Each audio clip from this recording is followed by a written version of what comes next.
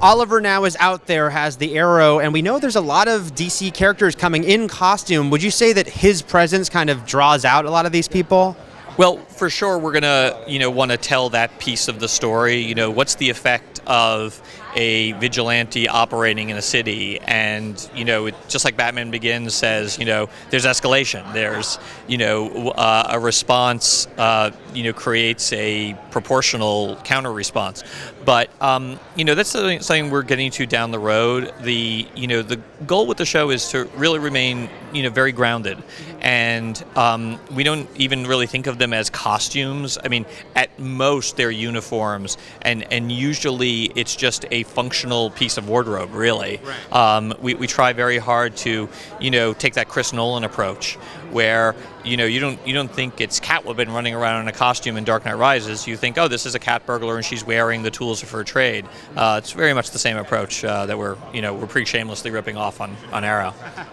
Well, you've got some uh, big characters people are very excited about. Can you talk about bringing in uh, people like Deathstroke and the Huntress to the series? Yeah. Well, I, I have to say, thank God the news is finally out because for the longest time we were just teasing people with the image of the Deathstroke mask on the island, um, and this whole time we've been sitting on this secret that you know people would see Deathstroke. I think a lot sooner than they ever expected to, um, and it's you know he's just such a great iconic character, and the second he shows up on the screen, you're like, whoa! I, I just can't believe that they went there, and um, it's it's fun and it's exciting. And the Huntress, you know, Jessica De Gouw plays uh, Helena, and she is just such a star in the making. Um, when she came in and auditioned uh, for us, I, I, felt the same way I felt about Stephen when he came in and auditioned. Like, wow, this this is someone who is going to be a huge star for someone. Um, you know, whether it's for us or for someone else, th- this person is going to be major one day. And Jessica just she comes in, she lights up the screen. She's absolutely phenomenal. Uh, you know, and we know Huntress is sticking around for a while. Can you talk about what that dynamic was like between Arrow and her?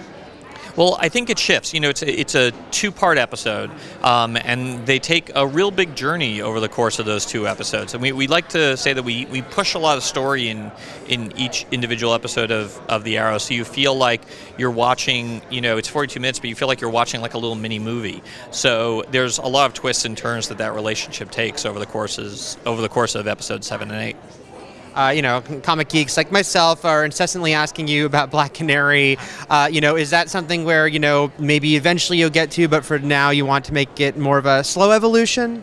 Yeah, I think you know it's it's you know one thing that we're always saying is it took five years to turn Oliver Queen into the Arrow. Yeah. And I think if we're going to honor that basic premise, that that truth, um, we've got to be very careful about how we evolve the other characters on the show into you know vigilantes um, and giving them abilities to have action sequences and fight bad guys and such. So um, I wouldn't say it's a slow evolution or a fast evolution or something we're keeping in our back pocket or not. I would say like you know as with all things we really try to always come from a place of character and come from a place of okay what would really happen how would it really happen so that it feels earned um, you know like when Helena comes uh, on the show she she comes you know, on in episode seven and eight for a reason, because it really speaks to where Oliver is as Oliver at that point in the series. Right. Um, you know, so it's in some cases it, it, will require like a very long, slow evolution. At the same time, we'll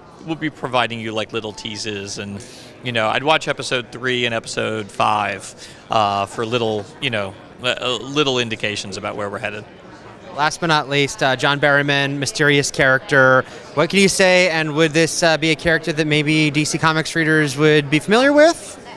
Um, well, you know, I, if I say anything about John Barrowman, like I, I, get shot by myself, really, because I'm trying to keep the, everything a secret. But you know, I will say this: like the thing about John's character is he's very much a he, he's a character in the form of an inciting incident, or the inciting incident in the form of a character. Like he's like a stone thrown in a pond and you you sort of see him injected into the story and there's ripple effects throughout the entire series and each ripple is a different character on the show. So like you know, when he interacts with one character, it creates this different dynamic. He interacts with another character, it creates a completely different dynamic. So he's like a change agent uh, for the series, which I think is really cool because a John Barrowman's amazing and he really lights up the screen. Every time I see dailies with him, the one word that comes to my mind is magnetic.